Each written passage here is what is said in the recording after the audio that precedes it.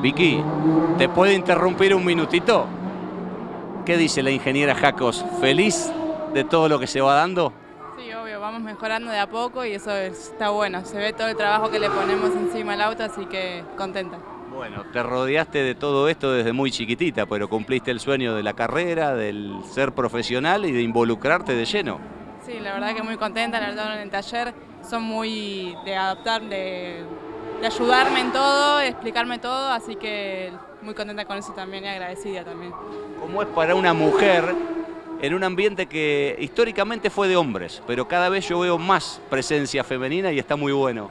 Está muy bueno, de a poquito vamos haciendo un poco más, así que eso es la verdad que está muy bueno. Y nada, contenta y espero que de a poco se vaya sumando más gente que le guste, más mujeres, así que nada, vamos a ver. Puntualmente, ¿cuál es tu tarea, Vicky?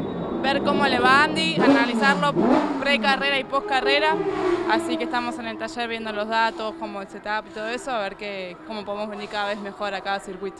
¿En qué momento dijiste, hago ingeniería, esto es lo mío? estaba terminé el colegio y veía tenía un poco veía el taller, un poco de administración, un poco de ingeniería y me gustaba mucho más ingeniería la parte, entonces empecé.